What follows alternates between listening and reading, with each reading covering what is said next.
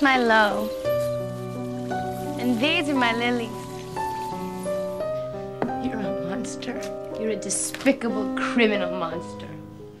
Por favor, si son fans de Lolita, ya sea del libro o de alguna de las películas, no comenten este video hasta terminar de verlo. Esto no es una crítica destructiva, Ustedes saben que esas solo las hago con películas horrorosas que todos odiamos, como Mingers 2. Y también sepan que en este video criticaré principalmente la película de 1997. También voy a tocar un poco el tema de la película de Kubrick y del libro, pero la crítica principal es más que nada hacia este remake, ¿ok? Comencemos.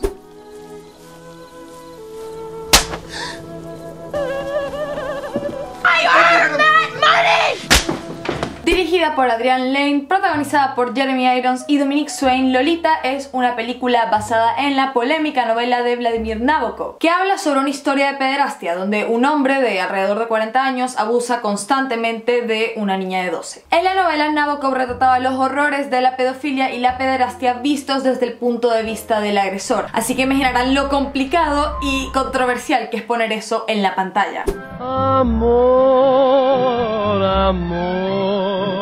A pesar de que la novela de Nabokov es bastante cuestionable dependiendo de dónde la mires, el tipo es un excelente escritor, eso es algo que nadie le puede negar. Yo la leí hace mucho tiempo, aunque admito que no la llegué a terminar porque me estaba sintiendo muy incómoda y desagradada, no sé, digamos que no es lo mío ese tipo de libros, sin embargo leí bastante más de la mitad, pero es innegable que el tipo de verdad que escribe muy bien, de hecho tengo otro libro acá que se llama Cosas Transparentes, este también lo leí, me gustó mucho, este sí lo terminé hasta el final. Lolita es un libro escrito en primera persona narrado por su antagonista podríamos decir que es Humbert Humbert y en mi opinión y hasta donde lo leí solamente te muestra la perspectiva de este sobre la historia, cómo su retorcida mente de pedófilo percibe todo, más no te muestra lo que está pasando en realidad. Él intenta convencerse en muchos momentos a sí mismo de que él es bueno, que su enamoramiento es válido, que quien lo está provocando es Lolita y en muchos momentos describe su amor por ella como algo hasta bello. Es que de verdad la forma en la que está escrito el libro es bella. De hecho muchas personas tienen la teoría, que por cierto yo apoyo, de que la madre de Dolores no se suicidó, sino que él la asesinó. Y que al final de la historia no es que Lolita lo quisiera abandonar, sino que estaba tratando de huir de él. Se escapó a la primera que pudo de un padrastro violador para terminar en manos de un personaje que era incluso peor, que es Quilty, pero eso lo haremos más adelante. Sin embargo, es una teoría que jamás se confirma porque nunca conocimos la versión de los hechos de Lolita. Pero si nos apegamos un poco a la vida real y a las declaraciones del mismo Nabokov, seguramente esta sería muy, pero que muy distinta. Hay un escritor ruso, Kirill Eskov, que hace años publicó unos libros, los cuales tengo que leerme eventualmente, que cuentan la historia del Señor de los Anillos, pero desde la perspectiva de los orcos, donde los villanos son los elfos, cosa que se me hace bastante interesante. Y menciono esto porque pienso que sería muy genial que algún escritor que haya estudiado muy bien a Nabokov haga lo mismo pero con Lolita. Sería un libro muy duro de leer, muy fuerte y desgarrador, pero tal vez haría recapacitar un poco a esas personas que interpretaron Lolita como una historia de amor preciosa, interpretación que hasta el mismo Nabokov le molestaba.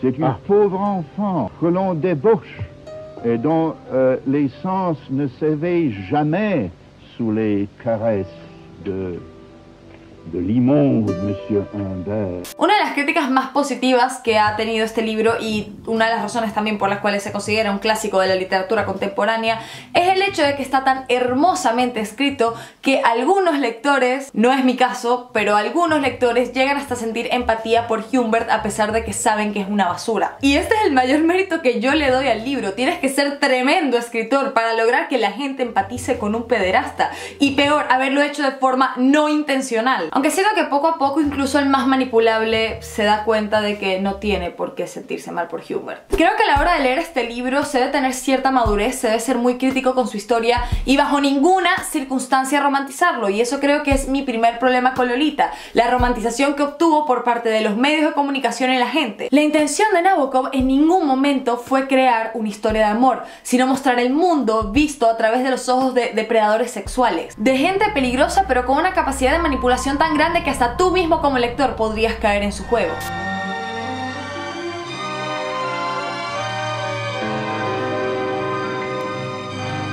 La primera vez que esta novela se adaptó al cine fue en 1962 en la película de Stanley Kubrick, en la cual tuvo participación el mismo Nabokov. Esta se considera una película de culto en la historia del cine y no me maten por lo que voy a decir, pero siento que el único motivo que tuvieron para hacerla fue ir a contracorriente y crear polémica. A Kubrick le encantaba el arte y la polémica, eso era lo de él. Y hasta en el mismo tráiler oficial lo dejaron muy claro.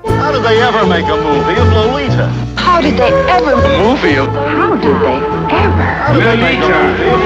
Make a movie, a movie, a movie, a movie, a movie, a movie. Se me hace muy curiosa esa fascinación de Kubrick con adaptar a la pantalla novelas sobre violencia y cosas que están mal en general, vistas desde la perspectiva del abusador. Lo mismo ocurrió con La Naranja Mecánica, que nos muestra el mundo desde la visión de Alex, un hombre que viola mujeres, golpea gente sin hogar, asesina sangre fría con música clásica de fondo mientras baila feliz. Esta película es muy buena, pero muy dura de ver y da para hablar durante horas, pero eso es tema para otro video. La adaptación de Kubrick, a diferencia de la peli del 97, no es explícita y en entrevistas con su protagonista, que a la hora de filmar tenía 15 años, asegura que trabajó en un entorno bastante sano y tranquilo. A pesar de tener escenas insinuantes, en ningún momento verás las violaciones que se relatan en el libro.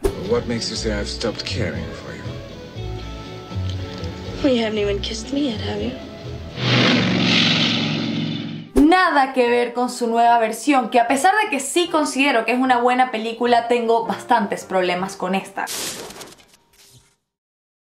El primer problema que tengo es que se contratara a una actriz menor de edad para sexualizarla y hacerla grabar escenas explícitas con un hombre 30 años mayor.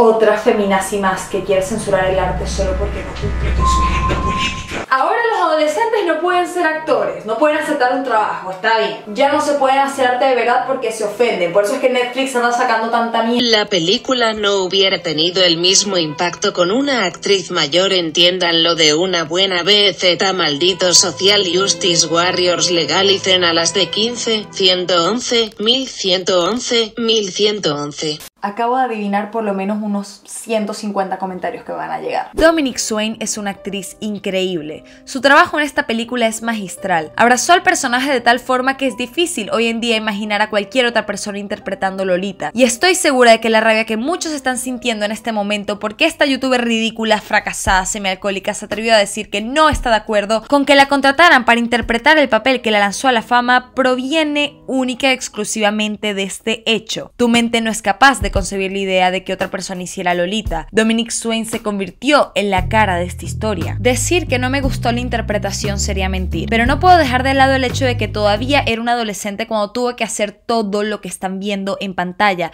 Tenía 14 y 15 años. Este mismo papel se lo ofrecieron antes a Natalie Portman, quien lo rechazó precisamente por todo lo que tenía que hacer. I wasn't willing to put myself in like a sexual role, you know, when I was 13, 14, and still right now. I mean, I don't think I'd be able to do it now. I'm just not, you know, there was nudity and sex involved. Y no, el hecho de no apoyar que eligieran a una menor de edad no tiene nada que ver con puritanismo o con ser un cerrado de mente. Se trata de no poner en situación de riesgo a alguien tan joven, de no exponerlo como un objeto sexual ante millones de personas y no obligarlo a hacer actividades sexuales con gente demasiado mayor. Si Natalie Portman, con 12 años en Leon the Professional, que ni siquiera es una película sexualmente explícita, llegó a recibir comentarios cosificándola en prensa y cartas con amenaza de violación, imaginen lo que puede llegar a ocurrir cuando sí muestras a un menor de forma sexual. Y no, esto no se trata de si defiendo el discurso feminista de Natalie Portman o no. Yo soy la primera que se ha dado cuenta que hay muchísimas contradicciones en este, pero esto no invalida su mala experiencia. Solo uso su caso como ejemplo de cuáles son los riesgos a los que los niños actores en Hollywood están expuestos, y porque opino que los roles sexuales deberían asignarse solo a mayores de edad. Tampoco voy a ser injusta con la película y voy a dar los hechos completos. En muchas de las escenas, las sexuales utilizaron una doble que sí era mayor de edad. Obviamente, porque si las hacía Dominique hubiese sido ilegal. En las que se muestran completamente desnudos o en las que hay demasiados tocamientos, utilizaron una doble que sí era mayor de edad. Sin embargo, los besos, varios tocamientos y escenas sexualizadas, claro que las hizo Dominique. No se pueden usar dobles para close-ups donde se ve el rostro. Yo pienso que así como hicieron con la doble, podrían perfectamente haber buscado a una actriz mayor de edad que se vea un poco más joven, un poco más niña, porque las hay. Si hasta dentro de la industria pornográfica consiguen actrices de 20 20 años que parecen niñitas solamente para representar las fantasías más depravadas de algunas personas. Si hasta esa gente pudo conseguir actrices, ellos también. Y aquí concluyen mis problemas en lo que respecta a la producción y realización de esta película.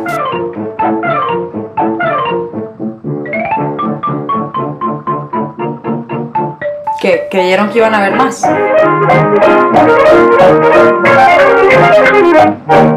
Pues sí, obviamente, claro que los hay, pero los siguientes no tienen tanto que ver con el producto, sino con los medios y la gente. Creo que no soy quien para ponerle límites al arte, y aunque el cine se haya utilizado en contables ocasiones para manipular a las masas como propaganda política o como método para inculcar ideales peligrosos, no siento que ese sea el caso de Lolita. No es como una película de propaganda nazi cuya intención sea dar un discurso de odio a un sector de la población que en su momento estaba oprimido y perseguido. Tampoco es un manifiesto en defensa del pederasta como muchos la han catalogado. Es más, siento que interpretarla como tal es ser demasiado simplista y estar muy a la defensiva. Lolita no es un producto del cual fácilmente podríamos argumentar su censura. Es una historia compleja que dependiendo de tu edad, madurez, sentido común y decencia humana básica mínima, vas a interpretar de una u otra forma. Sacando el hecho de que eligieran a una adolescente tan joven, es una película que está muy bien hecha. Si me sentara aquí a decirles que no la disfruté así sea un poco, solamente porque no es políticamente correcta, estaría mintiéndoles en toda la cara solo para demostrar una superioridad moral que en realidad no tengo. Puedo ser súper feminista, radical, social justice warrior lo que ustedes quieran, pero eso no me vuelve incapaz de apreciar los aspectos positivos de un audiovisual solamente porque moralmente no es perfecto. Un buen momento para recordarles que Old Boy es una de mis películas favoritas. El ritmo de la película es muy dinámico, lo que la vuelve súper entretenida. Silence of the Lambs, por ejemplo, que es una peli que me encanta y que ocupó el puesto número 2 en mi top de películas de canibalismo,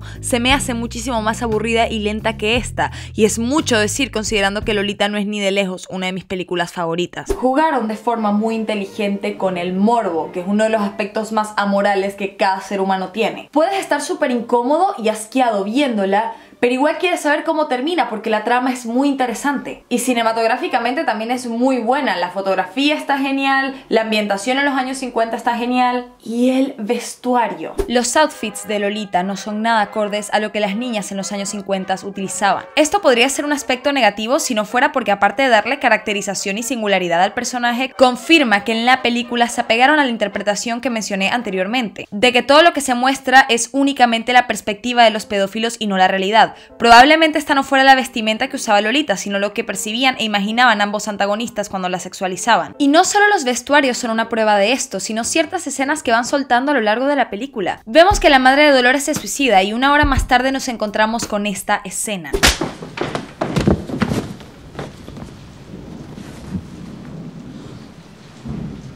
Go ahead, murder me. Murder me like you murdered sorry, my I'm mother. sorry. Murder me like you murdered up, my mother. Go shut on, up, murder me. Murder me like you murdered my mother. Now stop that. Go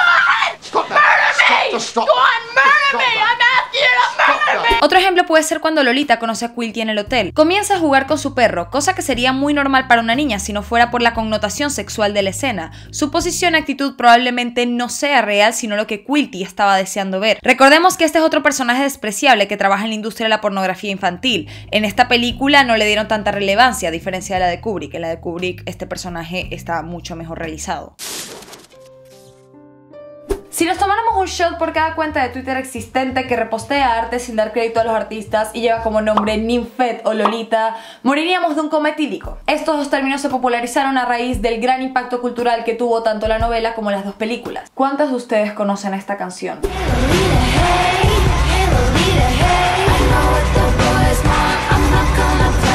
O esta.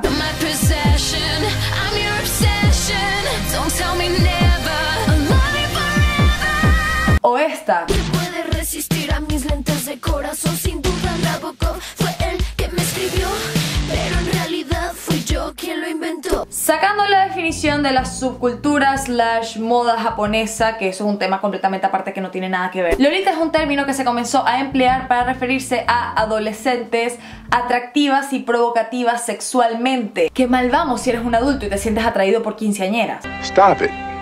Get some help. Y el término Nifed se comenzó a utilizar para un nivel más extremo, para referirse a preadolescentes maduras y sexualmente activas, ya que este término es el que utilizaba Humbert para definir a niñas como Lolita. El impacto ha sido tan grande que incluso se originó una especie de pequeña tribu urbana, un estilo de vestir, peinarse y maquillarse. Que esto no tiene nada de negativo, al final del día solamente es una estética, pero... Podemos encontrar videos en YouTube como este, que discúlpame, si no ves nada malo en esto, pues coño, ve un médico y revísate, porque no me jodas. Y tampoco es normal que este video tenga mayoría de likes. Non seulement la perversité de cette pauvre enfant a été grotesquement exagérée, mais son aspect physique son représente une jeune femme au contour opulent, comme on disait dans le temps, et à la crinière blonde imaginée par des nigauds qui n'ont jamais lu mon livre. Euh, Lolita la nymphette n'existe qu'à travers la hantise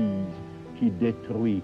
No incluiría el impacto cultural como un problema si solo se limitara a una canción cursi cantada por una adulta de ya veintitantos años o a una estética que mezcla ropa vintage con elementos cute e infantiloides. Que Lolita sea tu fashion icon está más que bien, hasta a mí me encantan los outfits. Pero no se ha quedado acá, se ha llevado a un nivel mucho más extremo. Y es que esta novela ha sido tan romantizada en los medios de comunicación que en páginas de ventas como Amazon se cataloga como novela de romance, existen líneas de lencería y juguetes sexuales inspirados en esta y figuras públicas como Kat Von D nombran productos de sus líneas como Rojo Menor de Edad y Lolita. Puede parecer una estupidez y tal vez lo sea, definitivamente un labial creado por la señora antivacunas no es ni de lejos la peor de las consecuencias. Me parece más preocupante ver hombres adultos justificando sexualizar a menores de edad usando la novela como uno de sus múltiples pretextos. Sin embargo, estupideces como estas siguen contribuyendo a que esto ocurra. Cosas insignificantes como estas contribuyen a la normalización de la romantización de sexualizar niñas, cuando en realidad deberíamos sexualizar el romantizar la normalización de que más gente debería unirse a mi Patreon porque la monetización de YouTube es injusta para los 6 días de trabajo intenso que me llevó a hacer este video. Sé que están cansados de estas tres palabras, yo también lo estoy, pero entiéndanme, no hay otras que pueda emplear que tengan una definición tan específica. Y la palabra erotizar suena muy pretencioso y no combina conmigo porque yo soy bien chaborra en la vida real. Desde un principio no deberíamos tener modismos para que adultos se refieran a menores de edad en un contexto sexual. Y el culpable de esto no es Nabokov, sino una sociedad que ve la infantilización de la mujer como algo deseable, como algo atractivo. No por nada es tan común ver ese tipo de imágenes en todos lados o ver tanta gente con fetiche de colegialas o daddy Alto, alto, alto, alto, alto, alto, alto, alto, alto, alto, alto, alto. Ok, Dana, lo que no entiendo acá es quién coño te crees tú para juzgar lo que los demás hacemos en la cama. ¿Qué tiene de malo que dos personas adultas con consentimiento practiquen roleplay para cumplir una fantasía? Es solamente una fantasía nada más, eso no los convierte en ningunos pedófilos. Si a una mujer le gusta el BCM o el Daddy King, no puede tener sexo como le da la gana. Además, todas las mujeres somos libres de hacer lo que nos dé la gana con nuestro cuerpo. Si queremos tomar fotos así, tenemos el derecho de hacerlo. Al final del día, todo esto es una elección propia y no tiene nada de malo que una mujer adulta disfrute de su sexualidad. ¿Qué tienes en contra de que mi pareja y yo practiquemos roleplay si eso es lo que nos gusta? Absolutamente nada. Y si crees que te estoy condenando a ti por llevar a la práctica tus fetiches de forma consensuada, pues no estás entendiendo el punto de este video ni de esta crítica. Todos tenemos el derecho de hacer lo que nos dé la gana en el sexo siempre y cuando haya consentimiento de todos los participantes. Pero cuestionar de dónde provienen nuestros gustos nos ayuda a entender mejor el contexto social en el que vivimos y nos ayuda también a atacar las desigualdades que existen desde raíz. No te estoy diciendo que dejes de tener sexo como te gusta, te estoy diciendo que analices por qué te gusta lo que te gusta y que de esa forma no extrapoles esto a un ámbito más allá del sexo con consentimiento. Coño, es que no acaban de ver los tweets que acabo de mostrar y no les parece alarmante. Ok. Lolita no es una historia de amor, va sobre obsesión, abuso de poder, maltrato físico, prostitución infantil, pederastia y la perspectiva de los depredadores sexuales sobre esto. Y a pesar de que muchos han criticado la película por romantizar la historia más de la cuenta, opinión totalmente válida y respetable, yo debo diferir. En múltiples escenas de principio a fin muestran lo desgraciado y abusivo que es Humbert y cómo le va destruyendo la estabilidad mental a Lo. Quiero creer que mi posición respecto a este audiovisual y esta historia ha quedado muy clara, pero reafirmaré por si acaso. Que te guste Lolita como libro, película e historia no tiene nada de malo, incluso si es tu favorita, es algo completamente válido. Un buen personaje no se define por qué tan correcto sea, y una buena historia no siempre debe entrar en los parámetros de la ética y la decencia, pero debemos en todo momento ser críticos con las películas, series, libros, música y cualquier otro entretenimiento que consumamos. Debemos estar conscientes de cuando una historia ficticia no debe pasar al plano de la realidad, y mucho menos romantizar. He leído hasta el cansancio a personas acusando de hipócritas a muchas feministas, porque los fines de semana se van a discotecas a bailar, perrear y mover el culo, al ritmo de canciones cuya letra va en contra de su discurso. Y déjenme decirles que esta gente es estúpida. Si aplicamos esa regla, ninguna feminista podría disfrutar de ningún género musical que no sea instrumental, porque letras machistas hay en todos. A nadie se le pasa por la mente que también son personas que les gusta salir, divertirse, disfrutar y apagar la mente un rato como cualquiera, y que bailar una canción no significa automáticamente que dejarás de ser crítico con su letra. Censurar todo lo que no sea 100% correcto es una utopía que no ocurrirá jamás, además de que la vida sería muy aburrida si no existieran historias de ficción turbias, por lo que solo nos queda concientizarnos sobre los problemas que hay y detectar cuando algo está mal. Yo soy tremenda fangirl y K-pop stan. Me encantan las coreografías, los visuales, la producción, el ritmillo de las canciones y el talento y esfuerzo de los idols. Sin embargo, acepto que es música 99% basada en marketing y que tras ella hay una industria muy explotadora, con contratos esclavistas, imposición absurda de cánones estéticos y deshumanización de sus idols, cosas que diariamente en mis redes sociales porque así me guste el producto final, sé que las corporaciones detrás de mis asiáticos bellos talentosos están muy mal y deben cambiar. Y sé que si la presión social continúa, poco a poco lo harán. Conclusión, Stand Day 6. Estoy bastante harta de estar usando este peinado, es que de verdad. Además tengo un vecino que anda martillando, es que lo quiero matar, se lo juro. En fin, este ha sido todo el video de hoy. Espero que les haya gustado muchísimo y si les ha gustado no olviden suscribirse para más videos como este y como otros. Activen las notificaciones en la campanita, sígueme en redes sociales, las voy a dejar por acá. Por ahí podemos estar un poco más en contacto. Sí, y quiero darle un agradecimiento especial a la gente linda de Patreon por apoyar mi canal. Si quieren apoyarme a través de Patreon, les voy a dejar el link en la descripción. A cambio obtendrán ciertos beneficios como acceso a contenido extra, leer mis guiones por adelantado y aparecer en los créditos de estos videos. En fin, los quiero mucho. Stand Day 6.